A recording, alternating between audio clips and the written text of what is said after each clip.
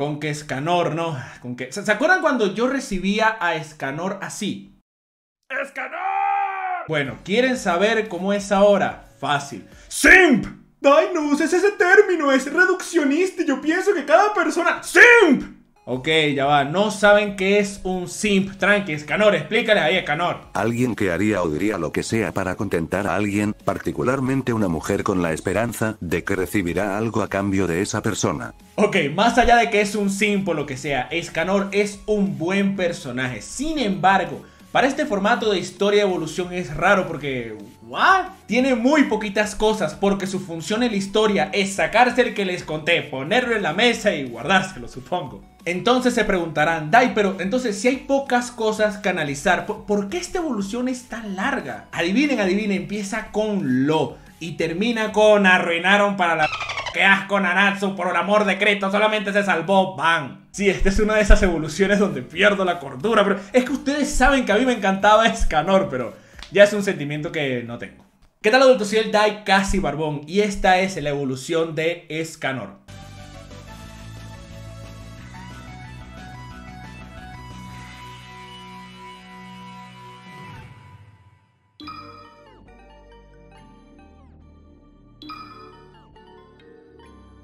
Escanor. Era un pequeño niño nacido como príncipe del reino de Castelio, un sitio a las afueras de Britania y bla bla, nada le importa. Eso fuera de la ciudad del protagonista, ya está. Tiene un hermano llamado Damon que le hacía bully porque Escanor no solamente era muy tímido, también era bastante enclenque. Sin embargo, un día de la nada, el tipo recibió un poder increíble de dioses, casi literalmente, llamado Sunshine. Una habilidad que estando bajo el sol le da un poder groseramente cochino que rompe este manga. Y cualquiera que se les ocurra realmente, porque si se ponen necios a debatir... No, es que Goku tiene el Super Saiyajin verde. ¿Quién lo decidió?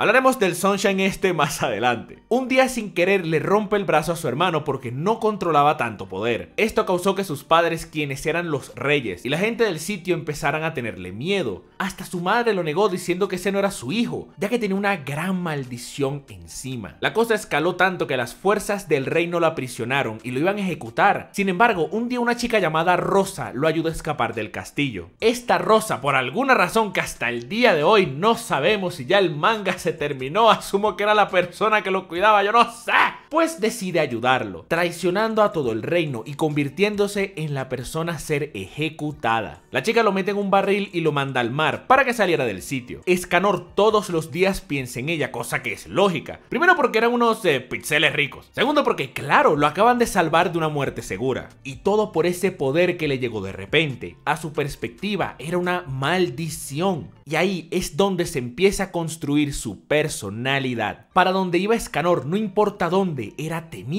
Simplemente porque nadie entendía cómo tenía tanta fuerza, cómo era tan poderoso. De a poco controlaba mejor sus poderes, pero igual, la gente no soportaba la idea de que en cualquier momento este tipo los iba a triturar dándoles la mano. Pasan los años y se hace adulto. En alguna parte de aquí decide volver a Castelio, para saber qué pasó con Rosa. Sin embargo, al llegar descubre que el reino había sido destruido por los bárbaros. No quedaba nada, y eso incluía a sus pixeles ricos. Todo esto mezclado a que Escanor es temido y rechazado a donde va, desarrolla una personalidad llena de arrogancia y superioridad, la cual él se refiere a orgullo. De esta manera, si un sitio lo rechazaba entonces era una lástima pero por el sitio, no por él, porque se pierden de tener al glorioso Escanor con ellos. El estado Sunshine se acopló a su cuerpo adulto y ahora no solamente es súper fuerte, también se ve como un yoyos. Y claro, la personalidad iba también de la mano. Pero curiosamente, de noche volvió a ser aquel Escanor enclenque, el cual su hermano le hacía bullying. Y miren, esto es algo interesante a mi parecer, porque Escanor en todos lados le dicen que está maldito. Y el tipo a pesar de que sabemos cómo es, en ese estado es otra persona. Olvida completamente lo que pueden decir porque pone su maldición, su poder por encima de todo. Todos pueden llorar, todos pueden gritar, pero al final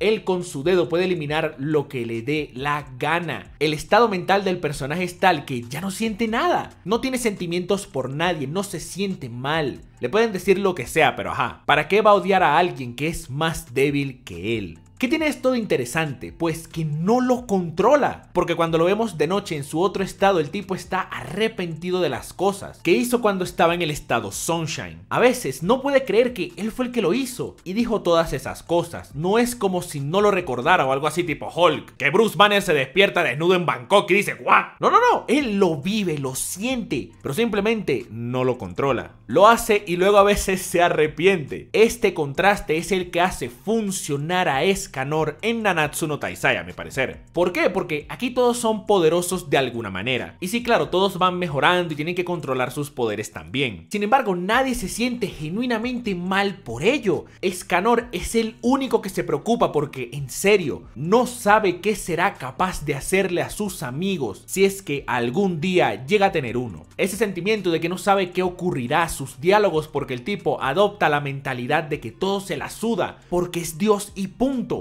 mezclado con su presencia brutal para luego verlo en Clenky pidiendo disculpas, hace que el tipo caiga bien, es agradable y es esta junta de elementos lo que causa que Scanor sea un buen personaje a mi parecer. Momento, momento, momento, pero qué raro, todo suena muy lindo, todo muy precioso, ¿qué pasa? Claro, es que hasta acá está bien porque las bases del personaje de Escanor estaban bien hechas a mi parecer. Eran las cosas que hacían que funcionase. Incluso era mi segundo personaje favorito de aquí. Pero como que hasta aquí trae, que trae, que trae. Ustedes conocen el papel higiénico ese que tiene un perrito en la portada. Bueno, espero que tengan uno a mano porque para limpiarse todo lo marrón que viene van a tener que poner la... ¡Ah! Un día de tanto pasear por el mundo termina en el reino de leones. El tipo mata a un monstruo porque andaba causando problemas, pero la gente del reino, entre ellos Zaratras, le echa la culpa porque todos los civiles estaban muertos de miedo al verlo como de costumbre. Por ahí Escanor conoce a los dos mejores personajes de este manga, y posiblemente del shonen. Habría que pensarlo, pero yo creo que sí son candidatos. Merlin y Meliodas. Dos personajes que en un principio no se veían tan mal, pero no tenía idea de que serían la peor basura de aquí. Los dos lo invitan a unirse a un grupo, pero este se niega. Igual ellos estaban ahí solamente para llevarlo preso, por órdenes de los caballeros, que le echaron la culpa. En todo este proceso hace ver al rey como un estúpido mandril, cosa que Escanor hace con todos menos con cierto personaje simp. Todo esto causa que el rey no lo apode como el pecado del orgullo, y es sentenciado a muerte. Pero no, no, no exactamente. Meliodas, quien era un ídolo del sitio, va y dice que él se hará cargo de Escanor, y lo hace estando en su estado enclenque. Lo lleva a un bar y le dice que ahora será miembro de su grupo, un equipo conocido como los Siete Pecados Capitales, conformados por Meliodas que da asco. Dian que no sirve, Goter que no sirve, King que, ok, sí sí sirve, Van que es el mejor personaje de aquí con diferencia, de hecho hasta la fecha no sé qué hacen este manga. Y el cerdo este que no sirve. ¿Me estoy saltando a alguien? Nah.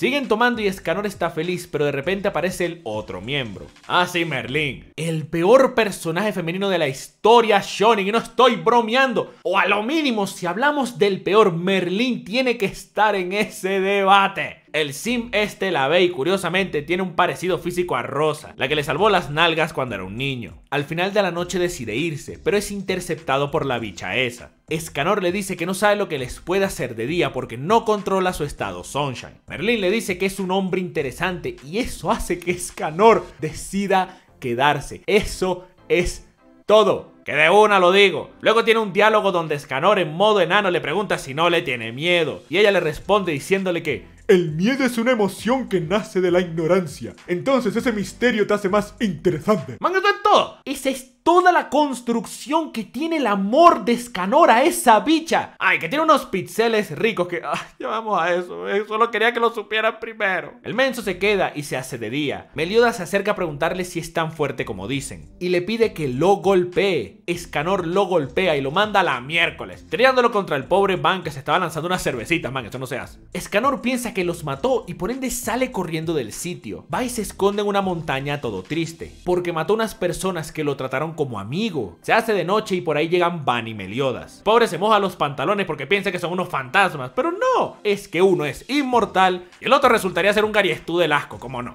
Escanor les dice que no saben lo que es tener esa maldición y cuenta que piensa que Rosa y su pueblo fueron destruidos por su culpa, ya que la gente se enteró que venía de ahí y nada, se los rajaron. La Merlín le dice que si quiere lo puede ayudar a buscar a Rosa con su magia esa rara y este le dice que no porque no tendrá nada interesante que decirle, que para él es mejor morir porque anda dañando a todos y atacando a sus amigos y bla bla bla. Van se cansa de tanta estupidez y le dice que si quiere morir que listo, que él se encarga de mandarlo al reino de las sombras. Tenía que llegar Van a poner orden en esta fiesta, papá. Sin embargo, Meliodas lo detiene y le dice que, ok, que si su preocupación es controlar sus poderes, que él se encargaría. Realísticamente, el logo de Pringles no tiene idea de qué está hablando este payaso. Y Meliodas le dice con confianza que cuando sea de día, cuando sienta que tenga el máximo poder, que lo retará a un Ahí le demostraría que puede con él y que si le gana, este tendrá que unirse a los Nanatsu. Efectivamente pelean y Meliodas se saca el modo asalto Hollow Fullbringer y qué sé yo y se lo raja. Aquí el prota aprovecha de decirle que Rosa lo salvó para que viviera, no para que se sacrificara él solo. Que viva tranquilo porque si hace falta,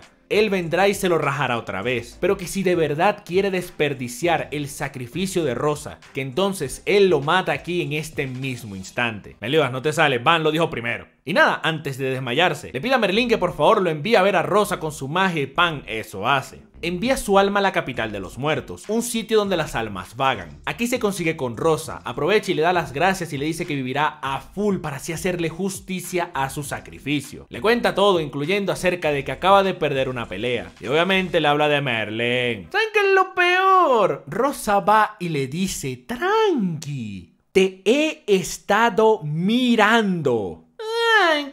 ¿En qué otro shonen he leído algo así donde el tipo es tremendo frenzoneado? Yo no sé, pero en algún lado fue. Nada, luego de darle las gracias a Rosa, vuelva a su cuerpo y ahora sí se une a los siete pecados. Listo, esta es la historia de Escanor. Es decir, sí, hace más cosas, pero lo siguiente todo tiene que ver con peleas. Claro, tiene diálogos fantásticos, como ya les mostré en los mejores momentos de Escanor. Pero que yo les diga, mira, voy a analizar esta parte que no, no, tiene nada, no tiene nada. Como dije en un principio, esto no hace que Escanor sea un mal personaje. A veces puede ser bueno sin mucho contenido, porque Escanor lo compensa con su presencia y sus frases que matan a quien sea. Para este formato de historia evolución, la verdad, eh, no hay más nada. El resto de la historia de él trata del bicho simpeando a Merlín, diciéndole poemas para luego decir que no, no son dignos de una exquisitez como lo es Merlín. Nah, ¿por qué asco, macho? Vamos a eso. Aceleremos hasta donde ocurre algo importante para su historia. Llega un clan de vampiros, creo, y va con los Nanatsu. Se rajan a todos, buscan un tesoro secreto de esos y termina la misión diciéndole un poema a Merlín y arrepintiéndose que su poema no es digno de unos oídos tan preciosos como los de ella, es en serio. Luego tienen una misión donde Saratras, que era un caballero importante, se muere, pero realmente le echan la culpa a ellos. Nadie recuerda a nadie, por eso Meliodas les dice que se dispersen y que se conseguirían después. Haciéndole caso al papi, hace un barcito y ahí es donde se esconde por un tiempo. Hasta que un día Van entra a su bar, el cual se escondía con una chica ya que eran perseguidos por los 10 mandamientos revividos y tal. Dos de ellos, Galan y Melasuda, digo Meláscula, no sé, Meláscula, eran los perseguidores y nada, Escanor se enoja y les parte la madre a todos, ahí se saca el machete, lo pone en la mesa y se lo guarda después. Luego tienen el arco del festival donde Gouter se mete en su cerebro y ahí es donde conocemos toda su historia. Unas peleas que se resumen en Escanor sacándose el salami, lo pone en la mesa y se lo guarda después. Ah, le dice a Gouter que aunque no tenga corazón, es un importante amigo. Muy lindo, por alguien que le dice esas tonterías a Merlín, de verdad que no le creo nada. Llega el arco de la defensa de Leones y afronta un mandamiento llamado Estarosa. Top humillaciones del anime. Todo lo que sale de la jeta de Escanor aquí es oro puro violencia, destrucción, desinstala el juego Staros y bate Candy Crush Pac-Man. Pero esto no calza en este formato porque como dije, es él sacándose la manguera, la pone en la mesa y se la guarda después. Pueden ver el video de los mejores momentos de Escanor porque literal es eso. Se saca la serpiente y la pone en la hoguera, ya entendieron. Que por cierto, mi frase favorita de aquí es esta. Oh sí.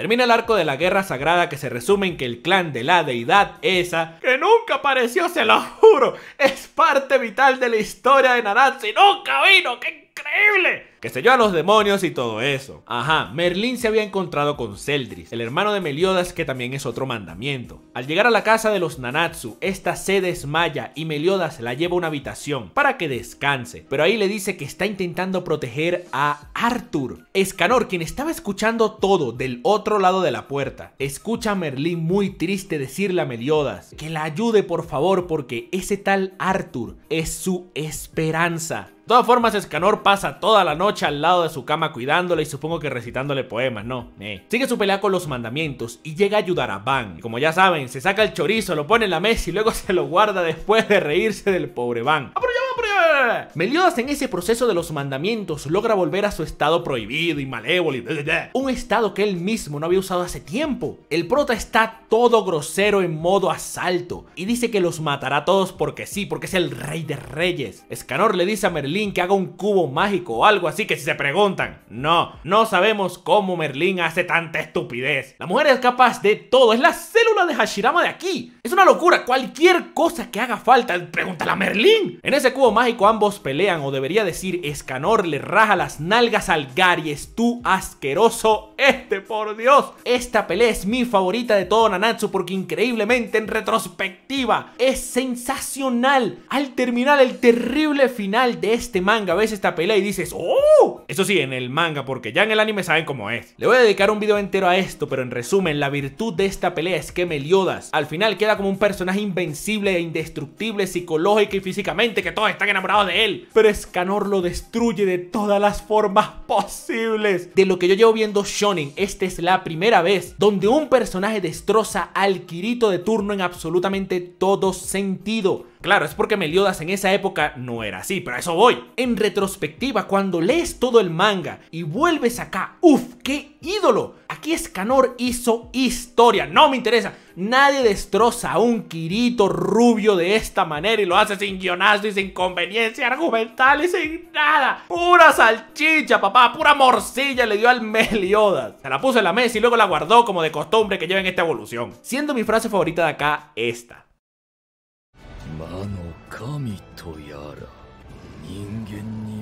見下される気分はどうだ Sin embargo, luego de aquí el personaje se iría a la mierda. Luego de enterarnos que Merlín tenía las bendiciones de la diosa y el rey demonio, como si eso explicara tanto Jaimico, Escanor va y le pregunta a Hawk, al cerdo le pregunta al cerdo, que le dé un consejo para ganarse el cariño de Merlín porque siente que está enamorada del tal Arthur.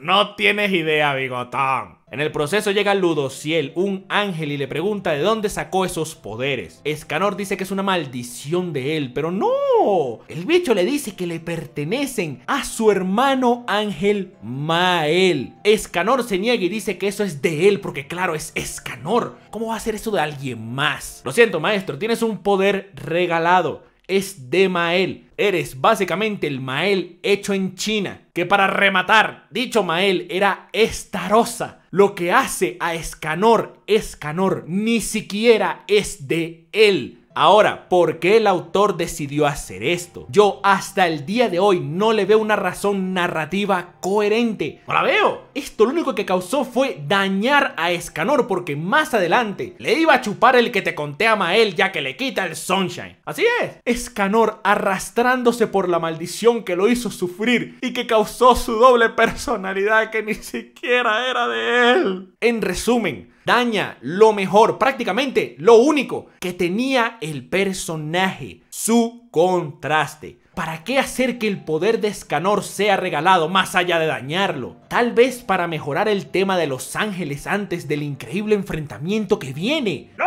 Porque la deidad suprema esa jamás apareció. Tal vez para desarrollar a Mael, ya que sería un personaje importante. No, Mael le quita el Sunshine y hace lo mismo que hubiese hecho Escanor, pero peor, sin ninguna connotación narrativa extra, porque el conflicto fue con los demonios, porque como dije, la reina de los ángeles nunca apareció. Que de paso, como dije, Mael resultó ser Estarosa, el tipo que él humilló y se volvió leyenda usando el Sunshine. Pues era de él, por el amor de Cristo. Tal vez para que Escanor tenga un acercamiento diferente a la vida. No, no lo tuvo, cosa lógica porque el personaje vive del contraste gracias al Sunshine. ¡Hijo de... No tuvo de otra que arrastrarse y rogarle a Mael que se lo devuelva, pero ¿qué estoy viendo? No tiene una razón coherente para quitarle esto a Escanor, no la tiene. Lo hizo porque sí, porque nada. Solo tengo dos personajes buenos. No, eso es mucho, tengo muchos personajes buenos. Mejor mato a este y solamente dejo a Van. Literal, eso fue, eso fue para que Escanor no le quitara protagonismo. Supongo que a Meliodas, Dios mío. Ah, y esto no termina aquí. Arthur es asesinado y Merlín se va a llorar a su cuarto. Cuando iba a entrar a consolarla, escucha que ella dice que Arthur para ella es lo que Elizabeth es para Meliodas. Al tipo se le rompe el corazón, desde aquí lo escuché. Se va de la escena triste, pero igual le sigue besando los pies a la bicha. Porque en el siguiente arco, luego de sacarse el bate de béisbol, ponerlo en la mesa y guardarlo con el pobre Celdris, otro personaje mega arruinado por el mangaka. Ludociel, el que le dijo que su poder es regalado, le pide ayuda y este bicho le dice que no. A pesar de que el ángel ese era el comandante, a Escanor le dio igual. Excelente, se sacó la salchicha, sin embargo. Atrás sale Merlín a decirle, Escanor, anda a ayudarlo. El bicho sin dudas va y lo ayuda. No, pero qué hijo de. ¡Simp! Luego de toda esta pelea, el tipo queda en mal estado y es salvado por, adivinen, Mael. Y Escanor va y le dice que sabe que ese poder es de él. Y le cuenta que ya su cuerpo no puede más. ¿Y saben lo que le dice? Que tome el Sunshine y que él haga el trabajo. Va y le devuelve el Sunshine y Mael es el héroe del arco. Así de sencillo. Muchos pensarán, bueno Dai, pero qué buen gesto, sacrificó todo su ser para salvar a sus amigos, ¿verdad? Puso el Sunshine de lado. ¿Seguros? Porque después del arco del purgatorio, el mejor arco de este manga con diferencia que por cierto Escanor no participa, se arma la batalla contra el rey demonio y Escanor va y como les dije hace rato, se le arrodilla a Mael y le implora tirado en el piso que por favor le preste el sunshine. Me estás hijos de pu... ¿Cuál es la razón de humillar a Escanor así? No entiendo. Es Escanor, es tu personaje. Que lo único que tiene para funcionar es su contraste y presencia y le quitaste las dos. Pues sí, tiene un momentazo en su versión chiquita protegiendo a Gil Thunder. ¿Se acuerdan de este tipo? Queda al borde de la muerte. Y adivinen, llega Mael sus plegarias estando arrastrado en el piso para que le presten el poder que lo hizo personaje que ni siquiera era suyo, funcionaron. Mael lo cura y le da el Sunshine y ahí es que el personaje vuelve a aparecer en un arco porque durante todo este proceso desde que le devolvió los poderes a Letarosa ese canor no hizo nada. Y si pensaban que eso era todo, ¿eh? Pelean con el rey demonio en uno de los peores arcos de la historia shonen y lo vencen el cuerpo de Escanor ya no da más. Antes de morir va y se le confiesa a Merlin diciéndole que la amaba, que no solo porque le recordaba a Rosa, sino porque ella lo veía sin discriminación o prejuicio, que era su sol, su sunshine. Merlin responde diciéndole que exagera porque ella solo lo vio interesante por ser un sujeto de prueba, nada más. En la cara te está diciendo, papá, que eres un simp de mierda. Y ya va, esto es importante, un momento. Primero, el amor construido de Escanor por ella es basura porque simplemente no tiene nada. Todo se basa en aquella escena donde ella le dice que es interesante. Eso es todo, loco, eso es todo. El mismo Escanor lo confirma aquí diciendo eso. Ay, obvio que no lo juzgaba. Hello, ninguno de los Nanatsu te juzgan viejo, ni siquiera Diane, ni Elizabeth, ni Gouter, que es un trapo. Y digo ellas porque asumo que Escanor es heterosexual, pero si vemos a los otros pana del grupo sienten lo mismo. ¿Por qué Merlin no tiene razón de ser más allá de que se parece a Rosa? Pero entonces, ¿cuál es el problema? Que Escanor hace todo por ella durante todo el manga. Me salté un montón de escenas y es porque se repiten muchísimo. Escanor leyéndole poemas, hablándole bien, diciéndole que su majestuosidad no se compara con nada.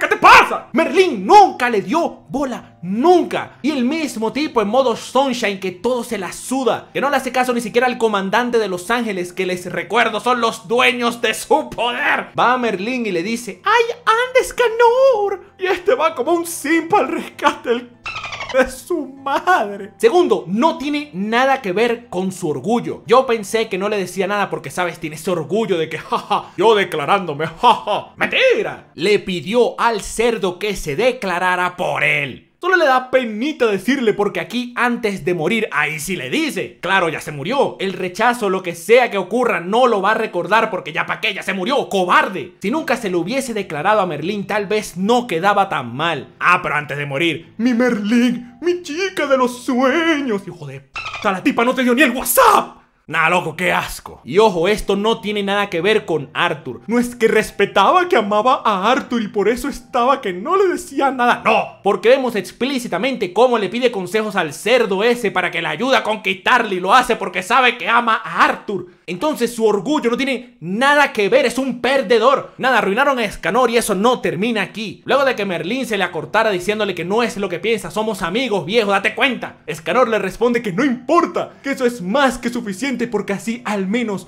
podría existir en un rincón de su corazón. Eres un enfermo que habla así de ¿Qué estás hablando? Merlín se queda como what y le pregunta que si él sabe su horrible pecado. Y Escanor no tiene idea, no sabe nada de ella porque le dice no, pero es una corazonada porque siempre tiene los ojos tristes, mi amor. Dios, qué asco, loco. Su cuerpo se empieza a quemar y desaparece calcinado, pero en ese proceso Merlín se acerca y lo besa y ahí le dice que nunca tendrá sentimientos por él de manera recíproca, pero que para demostrar que Escanor alguna vez existió, dejará esa marca de labios quemados en su cara.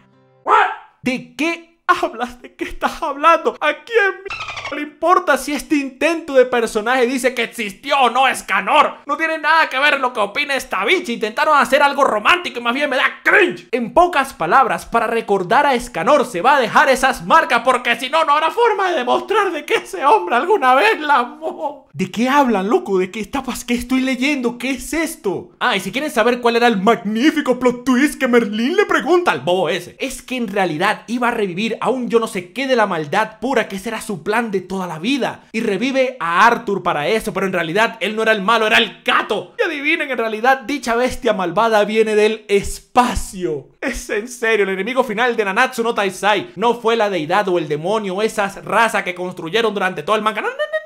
Fue un monstruo de una galaxia lejana, un extraterrestre. Vayan a, a su madre. Ah, y ¿saben qué es lo peor de todo esto? En serio, Merlín no estaba enamorada de Arthur, estaba enamorada de Meliodas. Claro que sí, de Meliodas, obviamente. ¿Cómo? Pues el tipo la salvó una vez. Listo. La mejor construcción de amor de la historia. No solo aporta otro ladrillo para que Meliodas quedara como un protagonista asqueroso, gariestú, Kirito, rubio, toca pechos, sino que resulta que Merlín estaba enamorada del jefe de Escanor. Porque sí, por Dios, ¿qué es esta basura? Son demasiadas cosas que tengo que explicar de Nanatsu que no caben en una evolución de Escanor. El punto es que el personaje de Escanor vivía de su contraste, de su presencia, de su elegancia. Todo esto fue destruido en un par de arcos. No hay explicación razonable del por qué Escanor le besaba los pies a Merlín. Es un simp y ya está. Hizo el ridículo con Mael dos veces. Hizo el ridículo con Merlín infinidades de veces. Hizo el ridículo al final con Meliodas porque su bicha estaba enamorado de él sin motivo alguno también. De paso, su poder no es ninguna maldición, era regalado. Todo lo que hizo fue gracias a Mael porque del resto es un inútil. Él mismo lo confirma arrastrándose pidiendo el Sunshine porque sabe que sin eso no es nada. Y supongo que para que Meliodas quedase como el héroe porque claro es el gran protagonista. Donde tenía que brillar no brilló porque lo nerfearon para que el tipo se muriera. Que derrota a su padre con el poder de la amistad ya que todos aman a Meliodas y quieren ser como él y quieren su salchicha. Lo digo en serio, hay demasiadas cosas mal hechas aquí, es una locura, pero se resume en que Escanor fue arruinadísimo. Porque en retrospectiva todo de alguna u otra manera queda dañado o a lo mínimo se ensucia. Recuerdo que en mi video de momentos de él dije que lo de Starosa iba a quedarse así pase lo que pase. Mentira, me equivoqué. Estos poderes eran de Estarosa. Y luego él va y se la rodilla y se la chupa para que te los preste. Termina siendo el ridículo con todos y con Merlín. Y no, qué asco. El único momento importante de Escanor que queda bien en retrospectiva es cuando se raja a Meliodas. Y es porque al final al prota lo disfrazan de Kirito, algo que no tenía antes. Del resto, destruido. Escanor terminó dando pena y de verdad no es su culpa. Las bases del personaje estaban allí. El tipo era consecuente con sus actos. Y de repente, ¡paca! Se tiró todo por la borda, es una masacre a la cual solo sobrevivió ¡Bang! Man, no te lo creo, no te lo creo. Fortalezas, debilidades, da igual, loco. Es un simp con poderes regalados cuya doble personalidad fue escupida por las acciones de Merlín. Porque podrá ser un picante en ese estado yoyo. Pero viene Merlín y este va y se arrastra a chuparle los pies. Da completamente igual. Lo mismo si analizamos su personalidad. Ni siquiera es de él, es de Mael. ¿Qué hubiese hecho yo demasiado por el amor de Cristo? Muchas cosas. Pero todo parte en no decir que era un poder de un ángel y no hacerle un sin por Merlín. Si había que hacer eso porque sí, porque uff, no había otra manera. Pues entonces construyan esa mierda. Que el pecado del orgullo, Escanor, no tenga de otra que agradecerle a esa mujer. Pero que esto ocurra por una construcción, por algo, pero no, no hay nada. Le dijo que era interesante, se acabó haciendo que todo eso de la presencia y demás quedase por los suelos. ¡Qué asco! Evolución no tuvo nada, ni en pedo, ni siquiera una pizca. Más plano imposible, pero como dije, eso no lo hacía un mal personaje. Pero las cosas sencillas que lo hacían funcionar quedan arruinadas gracias al declive tan nefasto que tuvo este manga que por alguna razón yo apoyé. Nada, Nanatsu da asco, Merlin da asco, Meliodas da asco. El único personaje que no resultó afectado en retrospectiva fue Bang, del resto nada. Y Escanor en un principio, aunque era un ídolo, la verdad, me terminó dando pena ajena. Y eso no es culpa netamente de él, fue del terrible declive narrativo que tuvo esto. Fue tan catastrófico que logró dañar a un tipo que se caracterizaba por decir, ¿y quién lo decidió? Imagínense, Insisto, creo que no es culpa de él porque las bases del personaje ya estaban, pero sin dudas los actos causados por el efecto dominó de la debacle del manga hace que Scanor sea otra víctima dañada de esto que se llama Nanatsu no Taisai.